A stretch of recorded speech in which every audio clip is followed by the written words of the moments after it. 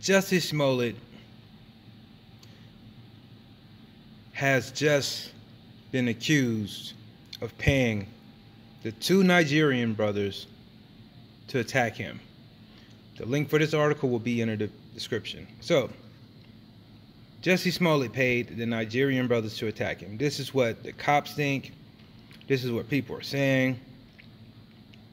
And as they add up all of the evidence, it's pointing directly to him doing this. His lawyers have strongly denied he played any role in the alleged homophobic and racist assault. Nothing is further from the truth, and anyone claiming otherwise is lying, they said in a statement.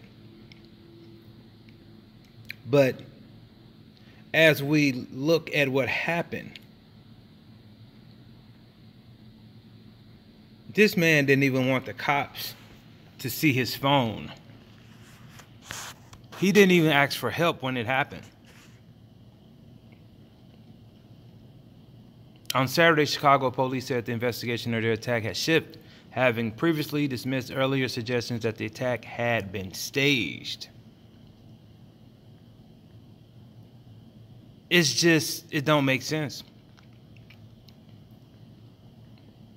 The Nigerians said they had bought the rope used in the attack at a nearby hardware store, police sources told U.S. media. So, this this is all for publicity.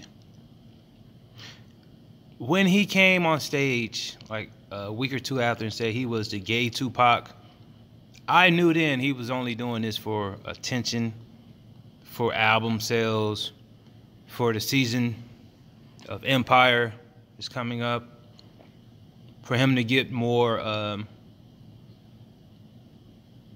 movie deals or whatever, more money, pretty much. Um, it's sickening, man. How you had a lot of black people ready to just go to war for you on some racist stuff, and you sitting here trying to be a gay Tupac. Man, somebody need to slap the bitch out of you, nigga if you stage this. Like this video, leave your comment, then subscribe.